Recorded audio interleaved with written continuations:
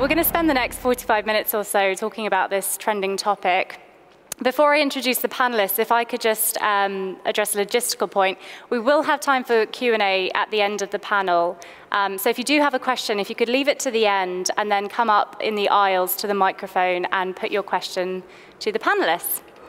Uh, so I'd like to quickly introduce our wonderful panelists. Uh, we have Markus Clavin and Debbie Whitehead from Serco and Holly Middlemiss from ASOS. Um, I'm going to let them introduce themselves, their roles, and their organizations.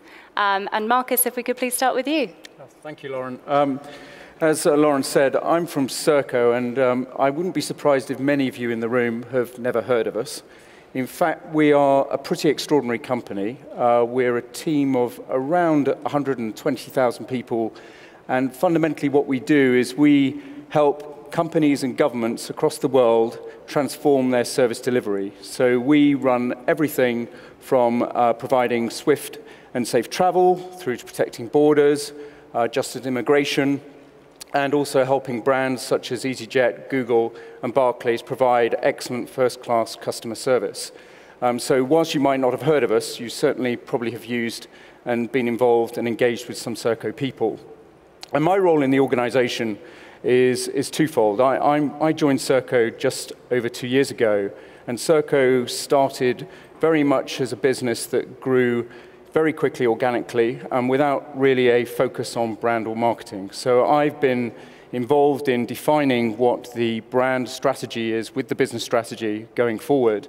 And with that, uh, what it is that we needed to become in terms of our people and how we need to support that in respect of recruitment. And we've made some significant progress on that front, which we, we're hoping to share today. Um, but the fundamental piece is really around our people. We um, primarily support other people's brands. And as such, we have a slightly different challenge to many others in terms of recruitment, because sometimes we're recruiting for ourselves, sometimes we're recruiting for ourselves for people to go and deliver someone else's brand promise, and sometimes our people are delivering multiple brand promises on behalf of a number of our customers. The thing that they have in common is that all the things we do are vital services. So uh, we really do things that matter. So when we did our work on our employer brand, it really told us and taught us very quickly that fundamentally what we offer people in joining Serco is the ability to become a specialist in service delivery. And the reason why we started with that premise is that no matter what type of service that we're supporting, the key fundamentals of delivering that service are broadly the same. And underpinning that offer, there are three pillars. For us, the first pillar is really around making more of a difference. A lot of our people work in vocational roles uh, where they're not paid huge amounts, but they do it because they want to make a contribution, want to feel that their role is making a difference. So coming to work with us, what we try and do is enable them to facilitate making more of a difference. The second piece in our employer brand sits around putting their thinking to action. A key part of our corporate offer to our customers is that fundamentally we take the best service thinking from across the business and elsewhere and put it to action wherever it's needed. And similarly, that's what we encourage with our people, is that they look beyond what they've been assigned to, what they've been asked to do, and think about the customer journey and effectively take ideas and share ideas and put them into action. And the third part of our piece is a breadth of opportunity. Um, I, am very privileged to work at Serco because unlike um, many colleagues in the room, I don't get to work with one brand every day. I get to work with over 80 of the world's finest brands and to think about how you deliver service and how you fundamentally support those brand promises is a fantastic challenge. And for our people, it means that they can learn from one another, but also they have a great opportunity to explore career opportunities within our company, supporting lots of different things in lots of different ways. Um, so hopefully uh, in, in, this panel discussion, we'll, we'll get into some of that today in terms of how we've used marketing to help frame the way in which we're now recruiting people. Great, and I believe we have an animation that you put together. Oh yes, um, I nearly forgot. Um, we've got a little animation which talks to the diversity and the focus on our people being service delivery specialists.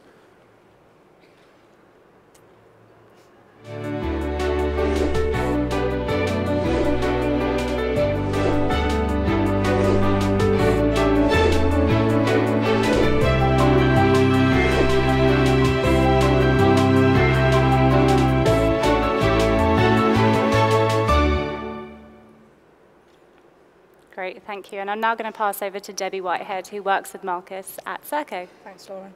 Uh, thanks, Markus, for the background. Um, thank you all for, for coming along. Um, my name is Debbie Whitehead, and I head up the Resourcing Centre of Excellence for Serco. Um, so the last uh, few years of my life in, uh, in my career have really been around driving the transformation of our resourcing function to create a global operating model. So we now have um, 120 uh, recruiters around the world delivering tens of thousands of uh, hires globally um, and my job is just to make sure we've got consistency for them, messaging for them to enable them to do their job. Great. And Holly? Hi everyone, I'm Holly Middlemiss. I'm talent and social media resourcer at ASOS. My role is very much uh, quite a dual role, so I'm responsible for uh, resourcing specifically for the technology area, but also for our talent branding on all of our social platforms and internal and external events as well. Um, ASOS, I don't know how many of you would have heard of us. Hopefully you would have bought things from us before. But we're a uh, leading global online fashion retailer. Bit of a mouthful, I know, but I've got to say the whole lot. Um, we're actually uh, the second busiest online fashion retailer in the world. And our aim, in a nutshell, is to be number one. We want to be the busiest fa online fashion retailer in the world. And uh, hopefully part of my job is getting us there. I think on a day-to-day -day basis, just to give you a little bit of background. So I'm actually uh, originally from the, uh, the dark side and from the agency side, and I've been with ASOS for about uh, six months now. And my role is very much headhunting, resourcing for our um, very large uh, technology team, but also for working specifically within sort of LinkedIn, Twitter, really building that brand engagement, not just selling roles, but really getting that brand awareness of ASOS, not just for fashion, but for lots of other areas across the business as well, such as finance, logistics, supply chain, perhaps areas you wouldn't as much uh, I guess, associate with an online fashion retailer automatically. So uh, that's my job in a nutshell as well. Great, thank you. Uh, so lastly, I'll introduce myself. My name is Lauren Fogarty, and I've been working as a brand consultant at LinkedIn for three years. Um, in my pre-LinkedIn life, um, my career was much more focused on B2B and B2C marketing. So when I joined LinkedIn, I had to put on more of a talent and employer branding hat. So I subscribed to ERE, I spoke to all the right people, read all the right materials, and actually what I learned is that they're quite similar, the two types of marketing. Um, if we look at uh, the consumer cycle, 60% uh, of their decision-making process is made before they even directly interact with the brand. And what we've discovered is the same is true for talent acquisition. So for all of you in the room, um, ensuring that you're monitoring and influencing what's being said about your brand on social media channels like LinkedIn, like Glassdoor, like Twitter and Facebook is increasingly important. So talent attraction is not too dissimilar from consumer attraction. Marketing 101 says that br brand engagement and awareness is crucial up front. Um, and the same is true for talent acquisition. So we're going to spend the panel uh, really discussing what Serco and ASOS have done to really integrate their marketing and resourcing uh, departments. And they're also going to share some very tangible examples of how they've achieved that. So you can leave the room today with things you might want to think about doing when you're back at your desk, probably not on Friday, but on Monday morning. Uh, so the first question we have is, why has getting your recruiters to act like marketers been important to your organizations? And if we could start with Serco.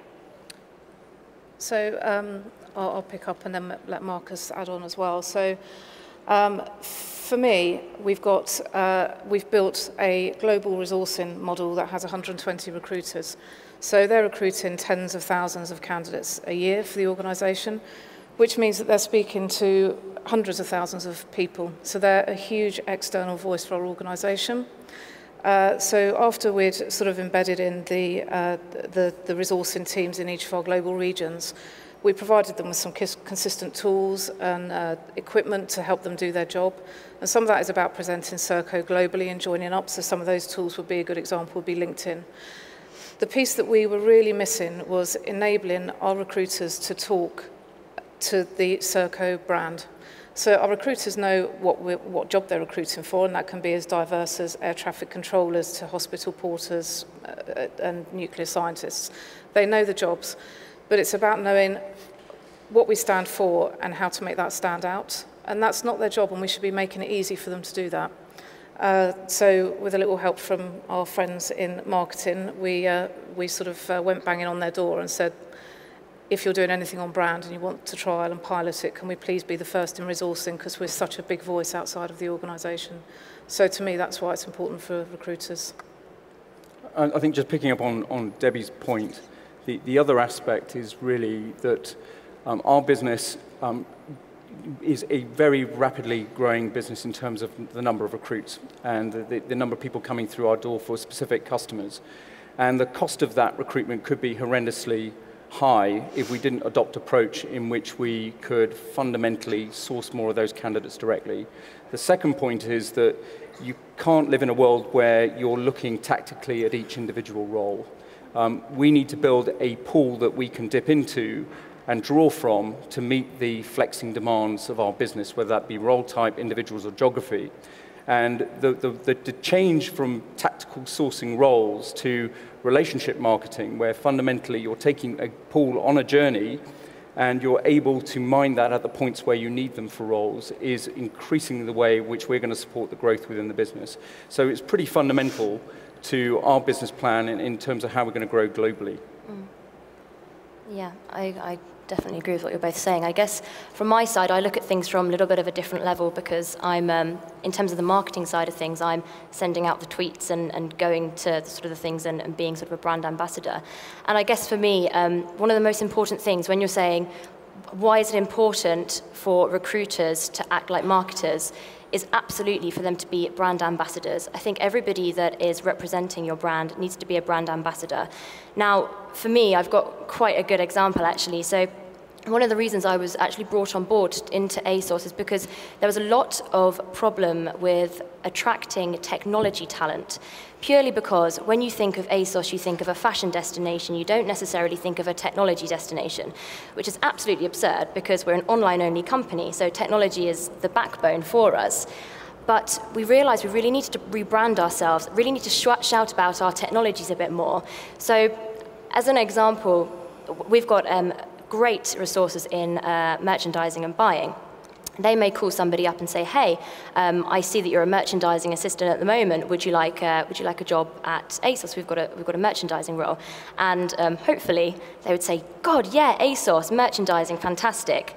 Now, turn that around and imagine calling, say, a, this is just, I'm stereotyping, so just bear with me. Imagine calling a 40-year-old senior software engineer and saying, hey, uh, we've got a job at ASOS as a lead software engineer. How, how about it? Are you interested? And honestly, the responses I've had, one being, okay, ASOS, that's a, the sister company of Atos, isn't it? So nobody knows, nobody knows who we are in technology. And I was brought on board to really change that by being a brand ambassador you can then go on, and I'm sure as you're all aware, you can then go on and talk about your company and your brand and what you're doing and the technologies you're using and how fantastic it is. Absolutely, and you can do a great job of doing that and get them interested.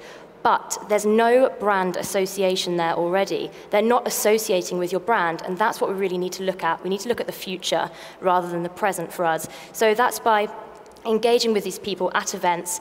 For an example, something I'll talk about a little bit later is we actually hold um, internal events about specific technologies we use, about different projects we're working on. So two weeks ago, we actually had one on um, Azure technology. And what we found, the feedback was people saying, I didn't know you used Azure. That's amazing. Do you have any jobs at the moment? So for us, it's really important to get that brand association out there before so you can dip into that warm talent pool and that talent pool is there waiting for you. And it makes your job a lot easier. It's very easy when we talk about recruiters acting as marketers to get caught up in buzzwords and, and kind mm. of conceptual ideas, but what does getting your recruiters to act like marketers actually look like for your companies? And ASOS, if we could start with you. What does it look like? Um, I think we actually have a couple of slides, do we? We do. Um, okay, so I've just pulled, um, if you've got your smartphones on you, I don't know if you want to go onto our uh, LinkedIn ASOS company site and just have a look, because some of these aren't the most updated ones, but they're just snippets if you want to have a look. And follow us if you go onto it. Um, so these are just a couple of examples that I wanted to use. Um, of how we use recruitment and then also the wider employees of the company. So as you can see here, with most recent um, one of the most recent updates was for our app uh, success and where we were in the app charts. So obviously we're saying here, uh, following our success in the app charts, we're so excited to see we are now editor's choice for new apps. Um, that's fantastic. Now, that's led by the talent team. Um, that was me posting that. That was me putting that out there. But what was great is I had collaboration from uh, somebody in the mobile team, which is essentially a sub-department in the technology team. Having that engagement with existing employees is absolutely fantastic, and don't underestimate the quality of that. There's a lot more buy-in with a head of mobile saying something than just you know, a, a, a resourcer, to be honest, if you're looking to tap into the, mo the mobile uh, sort of audience.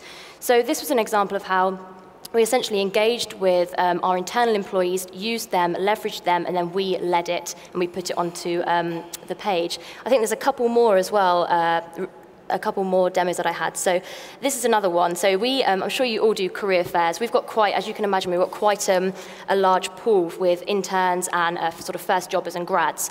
Now, we're really fortunate to have a fantastic person on our team um, who actually is a specialist, a very much a subject matter expert in going out there and speaking to students and people who are interested in internships and things like that.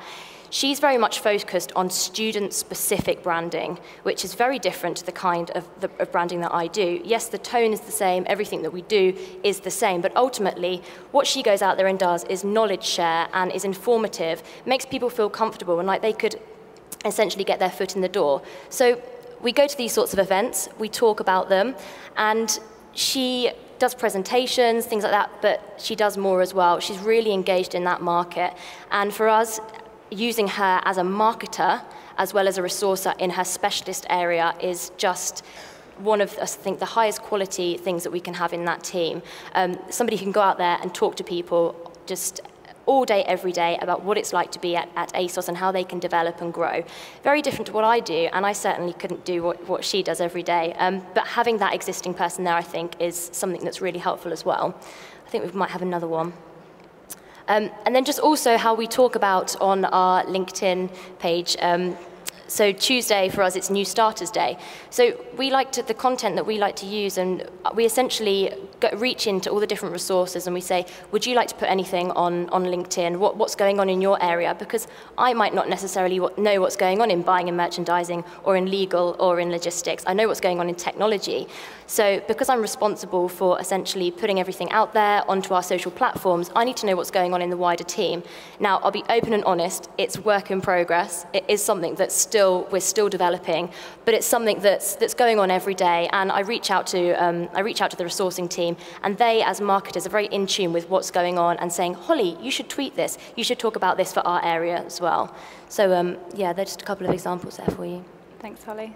Serco, anything to add? Yeah, I, I, think from, from our perspective, it's, it's been a, a very um, interesting journey. As I mentioned at the beginning, we, we haven't got a culture of marketing within our organizational brand. And we started off um, by trying to define what it is we wanted to become, and particularly for our people. And I think the lesson that we learned very quickly is that you have to involve people right at the beginning.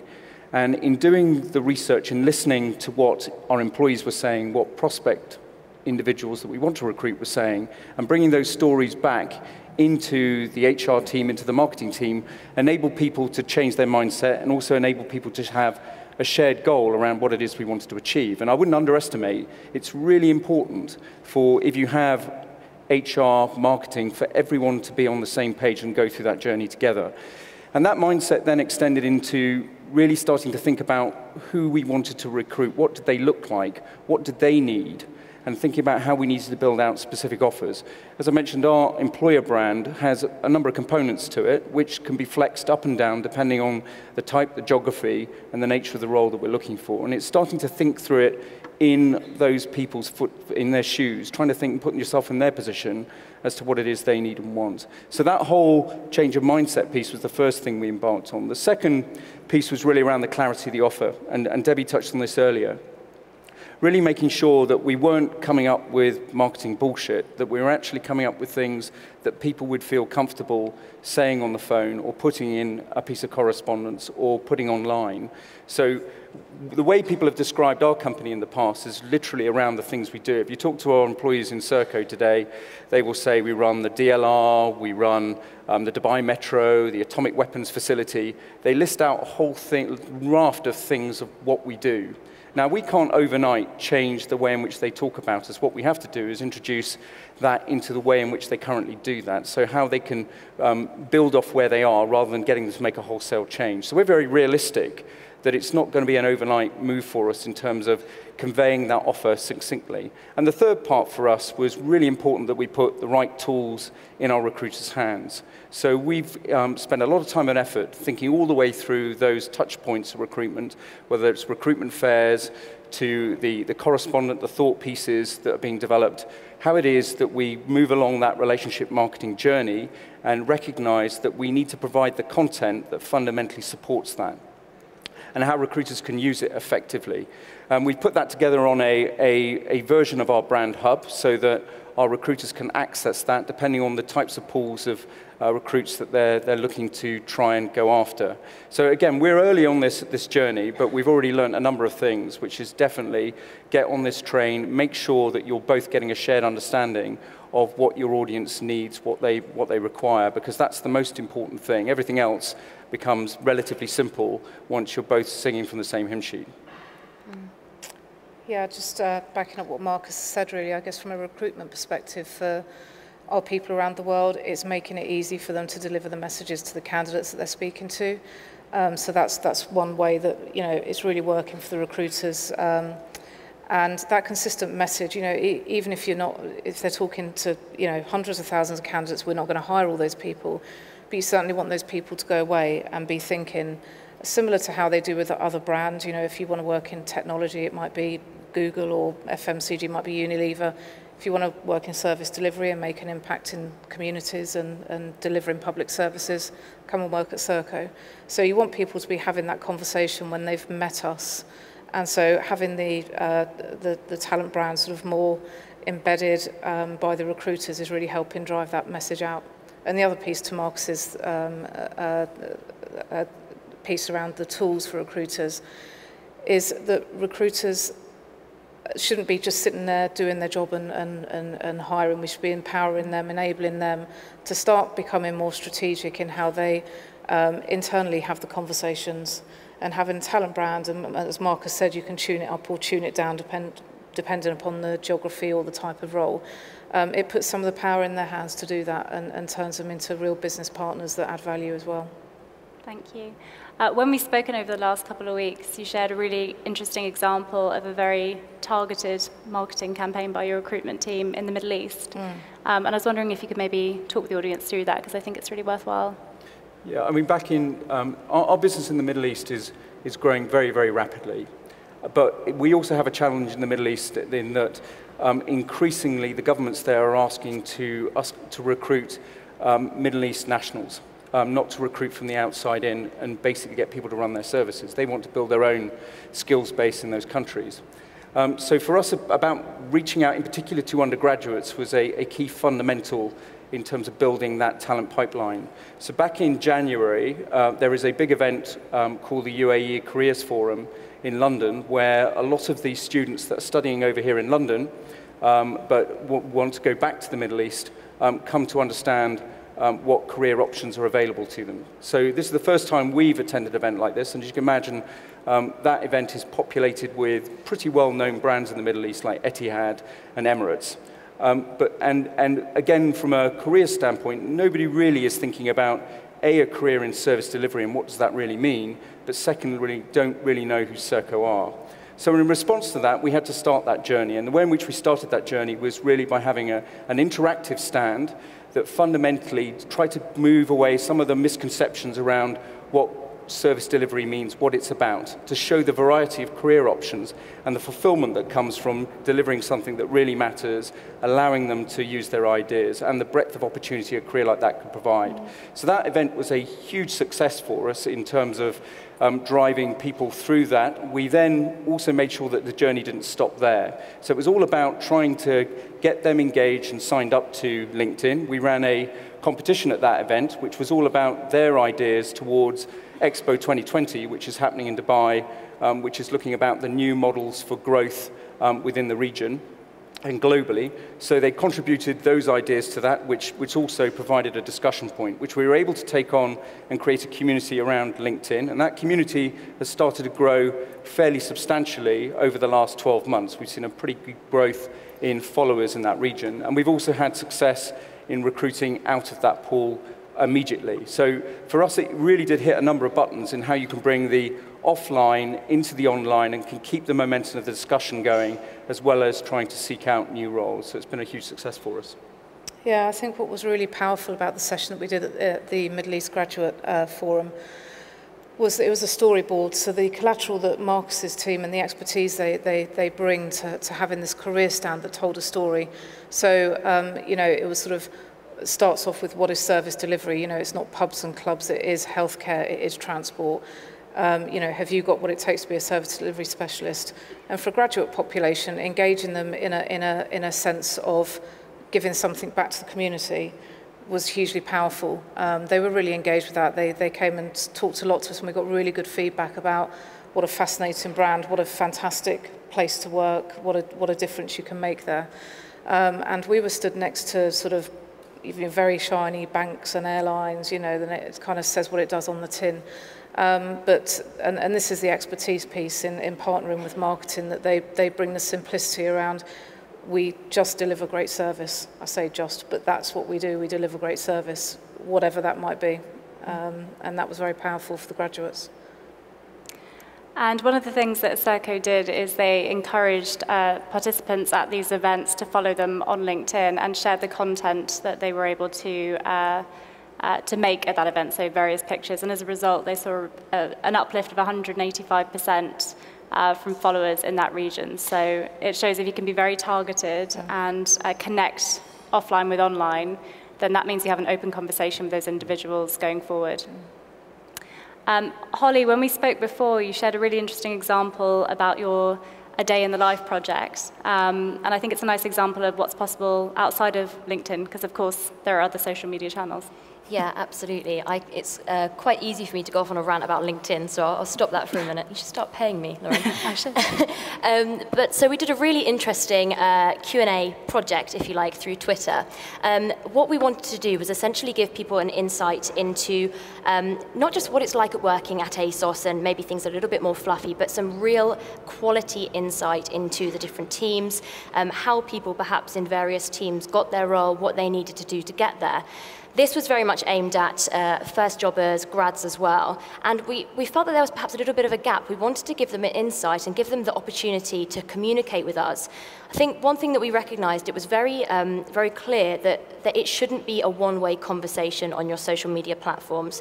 You shouldn't have your consumer and your audience talking at you and you not responding. So it's all well and good to post updates, tweets, talk about how amazing you are, put an amazing video out there, but if you're not talking back to them, they're not going to engage with you and they're not going to be as emotionally connected, um, however soppy that sounds, with you. So it's really, really important that you talk to them. And that's something that we um, recognized and we wanted to expand on. So as you can see here, we did a Q&A. Um, this first one, I've got a couple of examples, but this first one was with somebody in, social, in our social media team. We wanted to um, essentially attract people. This was all led by resourcing. We marketed it, we advertised it. We advertised it through our social platforms as well beforehand, about a week or so before, and then we gave a countdown to it. So we wanted to give people the opportunity to ask us on um, Twitter things um, about the company and about the role and the, the, areas they're interested in. So this is another example of how you can get your wider employees to engage with you and really help you with your resourcing and for them to also be sort of brand ambassadors.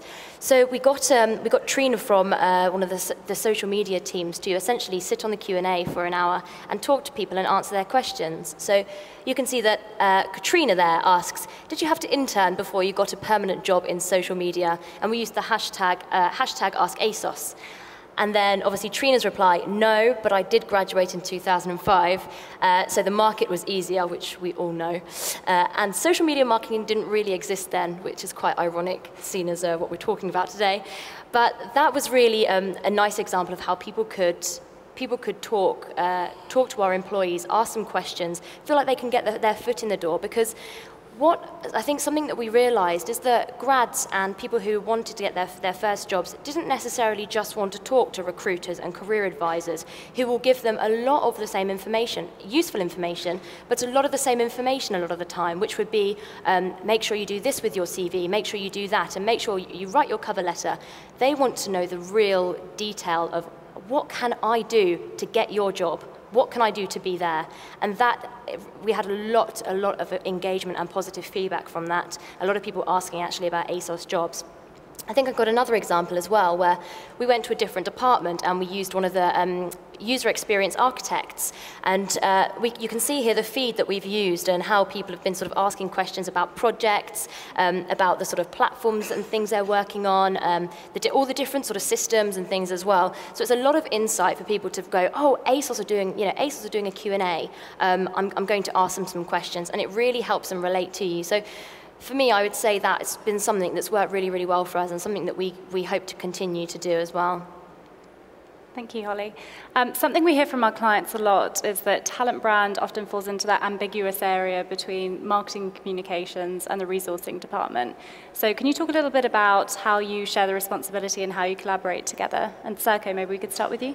Yeah, I, Um, I have a little bit of a bugbear with this because the debate around who owns it is is uh, is is boring and tiring, I think. but um, if we spent as much time actually doing things together as we do discussing about who should be doing it and owning it, you know, we'd get a lot more done. So.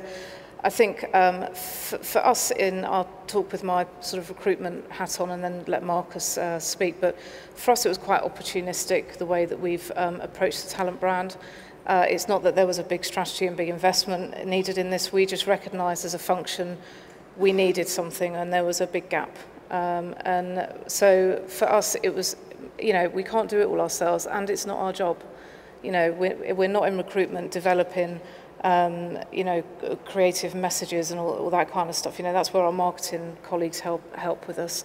So to me, it was really just about the natural thing would be go and collaborate, go and find someone that knows that can help us, and and so it's been very much Markus and I in partnership mm. with. Um, uh, well, just Markus and I in partnership really kind of pushing this along together because we know that it, it creates momentum, it creates excitement, it engages our recruiters as well, enthuses them to attract people. Um, there's just there's not a downside to it, so that's that's kind of where I where I come at from it, rather than sort of who owns it and who has budget. We've actually uh, funded, given Markus some money, um, and we involved our recruiters in getting the stories as well. So our recruiters around the world came back to me with stories. We gave some money to Markus. Markus sorted out video in and putting together the films of those stories.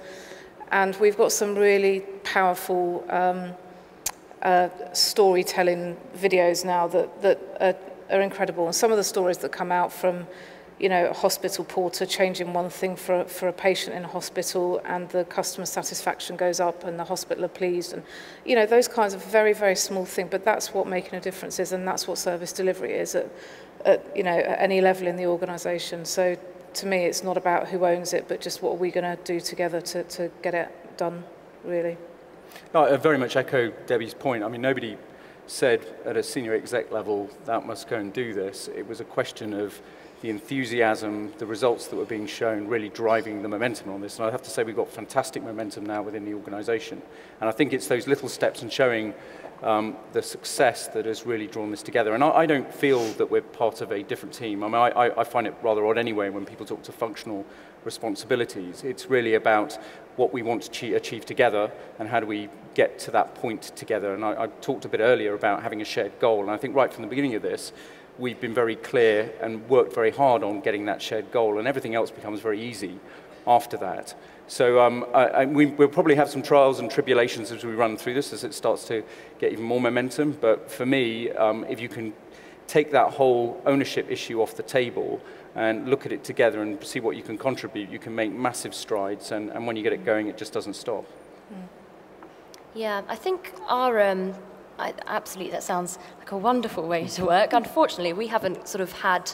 I guess ours has been a little bit different in that I was specifically brought on um, to have that dual role between talent and uh, the social media sort of branding and things like that. I think the reason why it perhaps doesn't work as a cross collaboration as, as well as it would work with you guys is because for us, our, we have a, a, large social media team who are um, on Instagram and Pinterest, and they're fantastic, absolutely fantastic at what they do. But they're very much um, focused on talking about sort of this season's trends and dresses and hats and things like that. And they don't would not have a clue where to start if they're talking about. Um, sort of resourcing and recruitment and really sort of engaging with people and keeping people sort of warm and, and in that talent pool.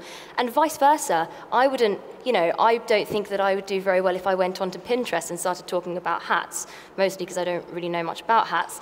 But it's, it, for us, it was a bit of a difficult, um, a bit of a difficult one really. So I was brought on to do that dual role and essentially sit in the middle not just for social media, but just for the sort of talent branding overall as well. Um, what I would say is that does sit uh, fairly separately from marketing and communications and also um, social media for us at the moment. But we do work with other teams uh, with our talent branding, and we absolutely aren't an isolated sort of function. So, for an example, some of the, um, the teams that we work with quite closely are internal communications. Um, so I'll often get content and things come through, and I'll send it through to our internal communications guys. They'll then put it out into the organization. And I think that really um, builds on sort of brand loyalty and, and that feeling of pride with employees as well when they see, oh, okay, we're not just talking about the, the you know, the fashion side of things. We are a business. We're an end-to-end business, and we're talking about bringing people on board. And I feel, you know, I feel really happy that I'm part of that growth. So we feed things into um, internal communications. We also um, are doing quite a large piece of work with uh, corporate responsibility as well at the moment. So I'm actually working um, with corporate responsibility to, it's actually next week, we've got uh, an event, an evening event for Udayan Care, which is a charity that we've been working very closely with for the last few years.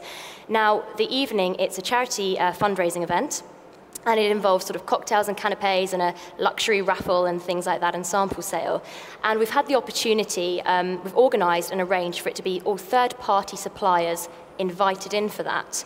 Now, those third-party suppliers include, of course, our recruitment agencies. Now, we're quite fortunate that we um, have 80% direct sourcing at the moment because we've got a, we've got a great resourcing team. But that 20% um, that we use, we absolutely want to have a partnership with them, not just um, them working for us. We want the partnership there. So what we thought is, why don't we bring those guys in and them to get a real feel about ASOS and what we do as a company and what we're about, because they need to be our brand ambassadors too. We just assume that they're, we just assume that they're there and they're going to be able to pick up the phone and talk to the people that we want and know, and know, what, um, know what, how to sort of sell the company. But they don't necessarily unless they type something into Google, which anybody could do. So we thought, bring them on board, give them a real insight into ASOS and what we're doing and what we're looking to achieve.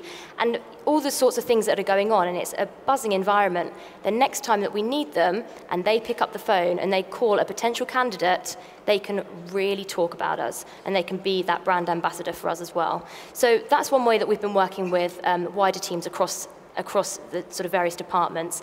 Once again, that's work in progress and something that we want to continue to do, and it's very much sort of at the beginning of that, but it's absolutely something that we want to um, that we want to sort of continue with as well.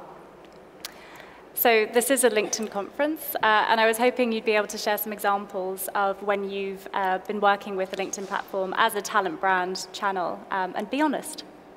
Serco, if we could start with you. Okay, um, so I'm, I'm really proud that we're here today and I'm really proud of the journey we've gone on with LinkedIn. I think we've approached uh, our LinkedIn relationship very much as a partnership like we have with marketing.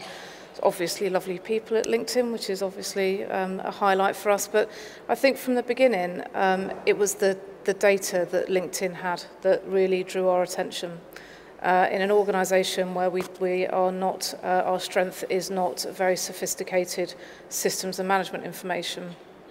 Um, actually partnering with an organisation that could help us with that was, uh, was very attractive. Um, and in the last couple of years, we've actually, I'm, I, I'm really proud of our followership and uh, we've actually got one of our senior recruiters here today who's done a lot of work on this, so to give him credit for the engaging stories up there. But in a couple of years, we've gone from, from 9,000 followers to 100,000 followers. And I think we're still understanding what that actually means, why those people might be following us, but it's certainly um, for me a real sense of pride despite a very challenging year for us that people are still interested in following Serco and hearing about Serco um, and seeing what, what we're doing. Um, I think it's a great um, tool for our recruiters as well from a developmental perspective. So uh, we're looking at you know how we how we uh, get certification for our recruiters. We're looking at how it makes them more strategic advisors to the business. So creating uh, sector focus groups that you know transport recruiters around the globe will join and network and get transport specialists in. Um, and actually, we've gone beyond in an organisation where we were a little bit shy, I think, of, of social media and promotion. Um, we've gone beyond the worry of our leadership that if if we're doing anything with LinkedIn, isn't it all about people wanting jobs or nicking our people and all that kind of stuff? And we've moved way beyond that um, to the point where I think some of our leaders see that LinkedIn can actually be a very uh, useful strategic tool, even in a bidding and a BD environment, in terms of the data that can give us. So. Um, it's been a great, great journey for us. I'll just, just add to Eddie, uh, Debbie's point. Um, I think the the journey we've been on is, is just at the beginning, and, and the data and insight that we're gaining, not just in the recruitment sphere, but in our markets where we are operating with governments and with businesses across the globe, the number of connections that sit in there that are open to us in terms of building our brand and building out our business development pipeline are immense. So we look at this very holistically in, in terms of a, a means to build our brand and to build engagement with a number of different stakeholder groups. So we've only just started, as I said, and I'm, I'm really looking forward to really getting underneath the skin and seeing how we can make even more of this in the next 12 months. Mm. Absolutely, just to I think echo what we've both said, we feel that we've we're absolutely at the start of our journey as well. But I think we've had a really really positive experience with LinkedIn. Um, it's helped. We've had regular regular meetings and meetups with our uh, relationship manager and also being able to you know have that data so you can see how things have changed and how you know things have grown as well through LinkedIn and your social presence you know it's all well and good saying oh, we're going to do this and we're going to do that and it'll be great for us but when you actually see it and the results, it's, you know, it's, it's very, very rewarding. I think a, a good example of that was I actually met up with our relationship manager a couple of weeks ago, and um, he told me that, he said, what's happened is that in the last six months, 44% of the people that you've hired have already been following you on LinkedIn. And we thought, wow, oh my God, it actually it works. Okay, that's good. So it's that sort of thing that I think has uh, worked really well for us and been very rewarding. We've actually been doing quite a lot of work um, and sort of campaigns and things as well, partnered with LinkedIn. So one of our um, problems, which I think I mentioned earlier, is being seen as a technology destination, not just a fashion destination. And that's something that we really want to wanted to target. Another problem which you're probably all aware of that's been going round and round and, and, debated and debated on the market for the last couple of years is female talent in technology as well. And everybody knows that there aren't enough um, females in technology and that's something that really needs to change. So what we decided to do, we um, partnered with LinkedIn and we were part of a video series that they were already doing called LinkedIn What's Your Dream? And um, essentially what they wanted to do was to find somebody who was perhaps interested in fashion, um, but didn't want to work in work in fashion and perhaps had another area of interest. So they wouldn't necessarily wouldn't necessarily associate them with with ASOS. But um, we put together a video. We chose one of our QA engineers in technology uh, called Danny. She's great. She's a great brand ambassador. She does loads of blogging and things for us already. And she essentially um, was part of a video uh, to show how ASOS is also a um, hub for technology. So if we could show the video, that'd be great. I'm still overwhelmed that I've taken the leap and I've actually made it.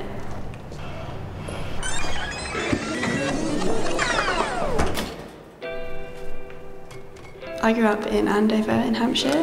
It's quite a sleepy town, there's not really much to do there. It was always a massive deal to go to London.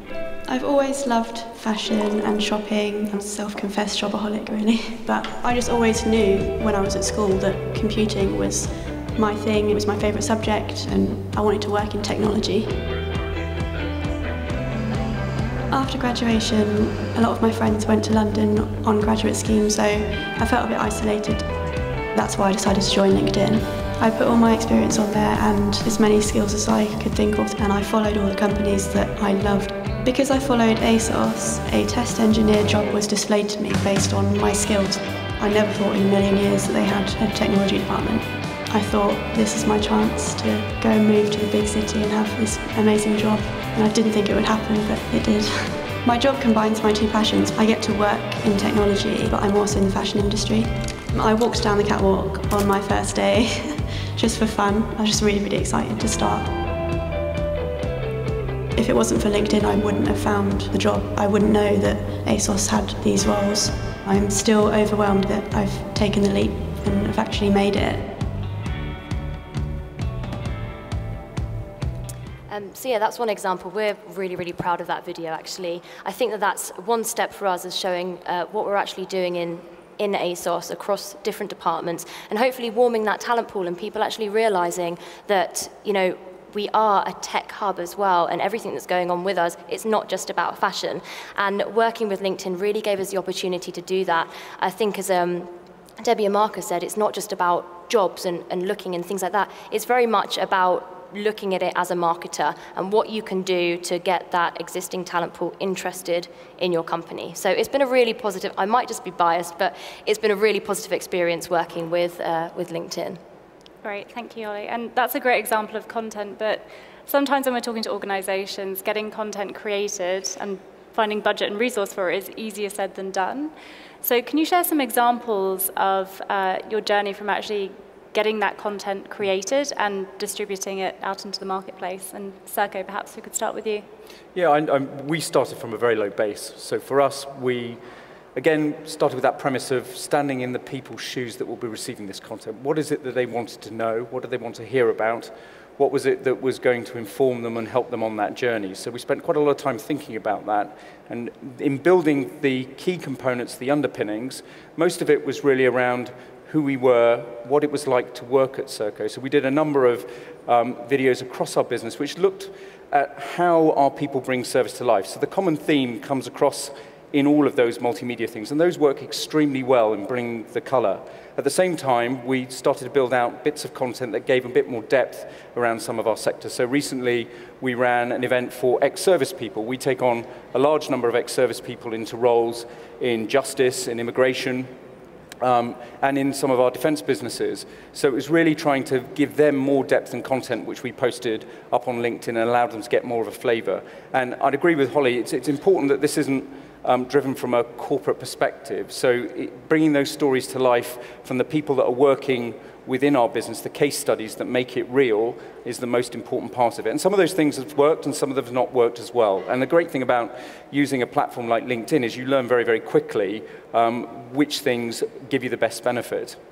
Moving on from there, and again, picking up on Holly's point, it, it's really about the conversation. So we're now building out rafts of content. And again, the cost of this content isn't huge. You'll find you'll have masses of it within the business. It's merely unlocking it. We have people who sit there thinking all the time about how service can be improved, right from the people working in the catering departments at hospitals who have found new ways of bringing hot food for breakfast to patients, all the way through to people thinking about new models of service delivery for um, uh, defense customers or for transport customers. And that content is there. You just have to find a way of unlocking it and rewarding it internally. And the biggest reward is to see it being pushed out externally. So we have a group of people now who are constantly giving us that content to be able to post, to be able to gain conversations around. And more of that content is where is we're going to head.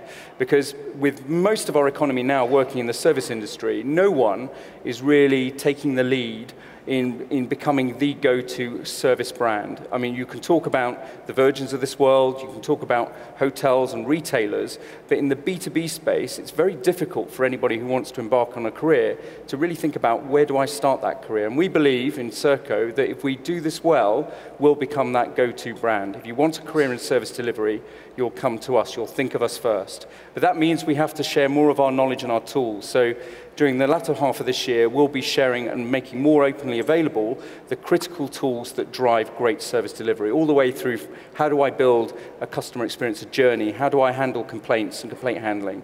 Our goal is to put that in the hands of people and to think very carefully and very strongly and positively about our brand as a, one that has a motivation to, around delivering better service. So I think we're on a journey with our content from informing people who we are and what we're about, and now we're in the second phase of that in terms of bringing our offer to life. So we'll be intrigued to see how that goes over the next six months.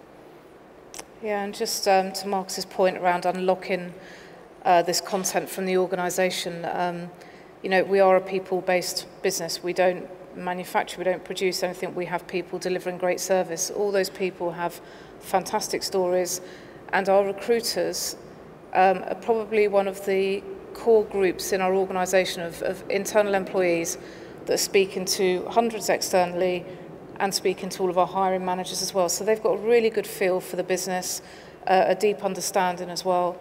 And I think because of the journey that we've been on um, together between marketing and resourcing, um, they've actually started to feel empowered to actually partner with marketing themselves and, and go out, reach out to market and say, I'm doing something on global healthcare, can you help put together a fact sheet? It might be, you know, something very simple and straightforward, hard copy, or it might be a, a piece of animation, Um, but actually, what, what we're doing is unlocking our recruiters' potential to give those stories to us as well. Um, and I think, and think building on Debbie's point, it's not.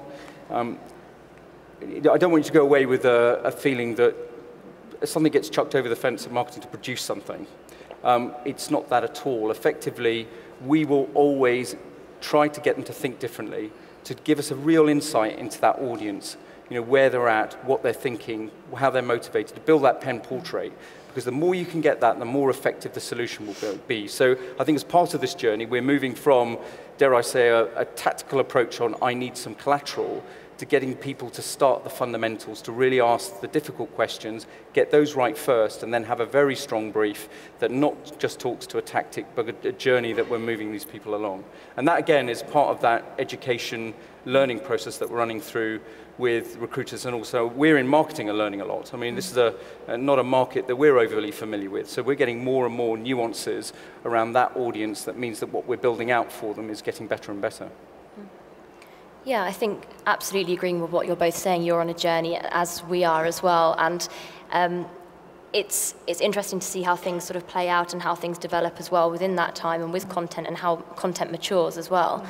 And I think we're quite fortunate in that uh, we're encouraged to create content and go out there and reach out to uh, the production team and the various other uh, departments as well to, to be able to create content as a re resourcing team something that we're doing actually at the moment, which uh, one of our resources wants to do is with the current interns that we have, year-long year -long interns, and do very rough and ready videos of them um, just in their day-to-day -day life. So although the video I just showed was produced immaculately and was uh, very, very sort of swish, that's not necessarily how we operate with our content. So we really encourage to have quite, um, as I said, rough and ready content. So something just shot on a mobile phone, then uploaded. That's the way the whole company, that's really the company's ethos. When you see um, all the, the models and the pictures going up onto the ASOS site, that happens within a few minutes. It's shot and then it goes straight up onto the site.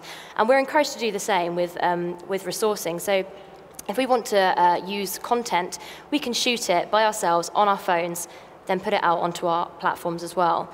I guess um, slightly different to Debbie and Markus, uh, because I'm using the content on a day-to-day basis and trying to find the content. Um, I guess in terms of advice that I would give, I'm sure you're probably, a lot of you are doing it anyway, but I do follow, um, I do follow articles regularly at the beginning of my week because I do have that dual role. It can sometimes be quite difficult managing both sides of things, managing the branding and the, so, the social platforms and also the resourcing. So at the beginning of every week, I will sit down and I'll think to myself, what content do I want to distribute this week? What do I want to do? Things like the video I just showed, obviously a little bit more of a, a longer game, things that need to be developed and, and, produced and shot. But there are lots of things that we could do immediately as well within our content that we can just pump out onto the site, pump out onto, um, onto Twitter, LinkedIn, talk about it as well. I think what I would um, also say, which I may have some disagreements, but I'm going to say it anyway, uh, content for me is also the events that we're hosting with our specific um, with our specific teams. So, for example, in a fortnight, we've got a event, an internal event with uh, one of the guys in big data, and it's going to be about big data and retail uh, and the transformation between that. For me, content doesn't necessarily mean videos and, and visuals and, and writing things up. It can also mean, it's, it's all about the quality and what you're distributing as well. So for me, content are the events that we put together, are the events where we're talking about us and what we're doing. And that's where we find that's very, very rich in content, and we're getting that po most positive feedback actually from those sorts of events. So for me, I would say that actually events and what we're holding, that's all content. I think you can get quite bogged down in the word, but for me, content is everything that you're distributing and putting out there um, to, to mark as yourselves and, and your brand. Thank you. Um, so that we leave some time for Q&A at the end, if I could just ask each of you to leave the audience with one piece of advice on how you can get your resourcing department to leverage marketing. And Holly, maybe if we start with you and work this way. Okay, I'll try to be quick. Um, for me, I would say one of the uh, something that, that I was told um, a few months ago, which really sort of uh, struck, struck me as true, was make sure that you autonomize your talent brand with your talent pool and your talent pipeline because that is essentially the same thing. Those people that you're trying to connect with and you're trying to engage with, they are your brand. They're the people that you want. So try and autonomize that when you're going forward and when you're looking at things as a, from a marketing perspective. I think one other thing I would say, it's fantastic when you can have that cross collaboration within, um, within departments. So Debbie and Markus, that you've got that collaboration is fantastic. What I would say, though, is from a resourcing perspective, don't be scared to take it into your own hands. Don't be scared to send out those tweets. Don't be scared to write on LinkedIn. You guys are the subject matter experts in your areas. You are the specialists for resourcing. So don't underestimate yourselves with that. I know it can be very scary, and mistakes probably will be made, and they might be viewed by, by lots of people, but you don't learn and you don't know what works best unless you try and unless you, unless you move forward a little bit courageously with it. So um, that's something I've learned, and I've made mistakes, many of them. Um, I think for me it would be around engaging your recruiters and your brand. Um, they should be your talent champions. They should be living it, breathing it. It's the, you know, go home and tell your loved ones what you do and who you work for, feeling proud of it. Um, so, so that would be one piece of advice, just engage them. Uh, and by that, I don't mean go, you know, to Marcus's point, just give them things. Actually engage, get their thoughts on it, um, get their thought leadership, their buy into it. Um, so that would be one thing. And, and actually, to Holly's point, I'd say don't always ask for permission. Yeah. Sometimes, you know, we started the LinkedIn journey by... Um, asking for forgiveness from comms once we started to consolidate all our pages and everything. It was before Markus joined though, so he wasn't one of those, that's why. But, um, you know, sometimes you just have to start these things off because you know they're the right thing to do. Um, and, you know, there's not a downside. Um, it's just... Uh, it's just the right thing to do and you have to have the, the courage to go ahead and do that. Well, I, I think Debbie's being a little bit um, uh, lacking confidence in the, the journey that you started off with because I was, I was recruited via LinkedIn um, before I came on board, quite clearly. So they must have been doing something right mm-hmm. uh, in that process. And I think they've created a great platform. And I, all I see is really us being able to work together. And if you're constantly sitting back and trying to stand in your audience's shoes, that's the most important thing. You get that clear, shared understanding of both where you want to go. And I think once you've got that, everything else becomes relatively simple. So not stopping asking the questions, what matters to them, not what matters to us. Um, the day you start sitting there thinking about what matters to the organization all the time, I think you're lost on this because you'll start pumping out things that are irrelevant, will be annoying, and won't gain you the sort of engagement that you need. So we yeah. constantly have to ask ourselves, are we really doing the right thing by our audience? Mm, yeah. Brilliant. We have about three minutes left, so if there are any questions from the audience, if I could ask you to please come up to the microphones um, and put them to our panelists.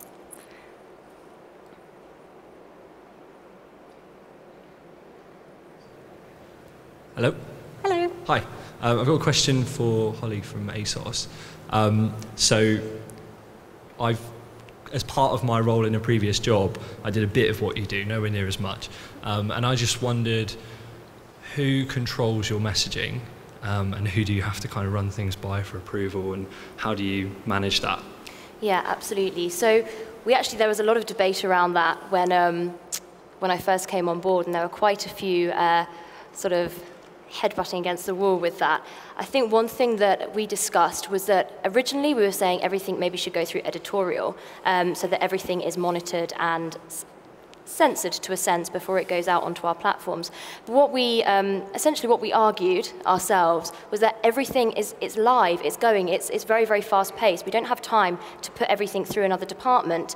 If we've got the ownership of this, if we're owning it, if, it's, if we're the, the experts in this area, then absolutely we should own it and it shouldn't go through something, it should go through us and us only. I did actually have a conversation with uh, the editorial department and uh, they were, they were surprisingly easygoing about it, actually. And they said, that's fine. Um, I'm I've actually come from a publishing background originally, so they were, I think they trusted me uh, with the editorial content and things like that. But ultimately, we're really lucky in that we can get everything out just through us, through our resourcing team. Um, we have a strict ASOS code and an ASOS tone. So we, I essentially have a folder about this thick on the things that I'm allowed to say and the words I'm allowed to use and what I'm not allowed to use, uh, which I had to brush up on before I started posting on behalf of the company. Um, but once I did that, once I had the relevant meetings, I was free to go and it can just go through me. And also, what I, what I must add, it can also go through a couple of other members of the team within Twitter um, and the other areas. So it's quite, we're quite fortunate in that we can just get things sort of moving and it can, we can keep the momentum up essentially as well. Great. I think we have time to squeeze one more question in if anyone does have one.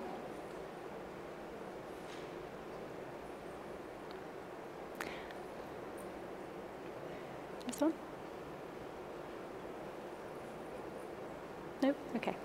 In which case, I would like to thank our panelists, uh, Debbie and Markus from Serco and Holly from ASOS. I hope you enjoy our keynote speaker, Baroness Karren Brady, and I hope to see some of you at the drinks later.